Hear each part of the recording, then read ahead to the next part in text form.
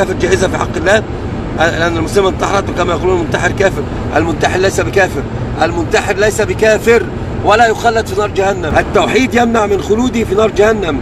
لما قال النبي صلى الله عليه وسلم من قتل نفسه بشيء عذب به قال من تردى في جبل شاهق فهو في نار جهنم يتردى, يتردى في, في نار جهنم خالدا مخلدا فيها. هذا جزاؤه إن جوزي به كما قال أبو هريرة. يأتي التوحيد مانعا لأن النبي قال ثم يقبض الله قبضة. فيخرج, فيخرج من النار كل من قال لا إله إلا الله ولم يعمل خيرا قط. الرجل الذي قتل نفسه وأخوه الذي هاجر معه دعا ربه عاما كاملا هل يعني ما ف... ماذا فعل الله به؟ فجاءه في المنام في أحسن هيئة وأحسن صورة فقال له ما فعل الله بك؟ قال غفر الله لي ب... قال غفر الله لي بهجرتي للنبي صلى الله عليه وسلم لكن قيل لي لن نصلح منك ما أفسدت. المنتحر ليس بكافر.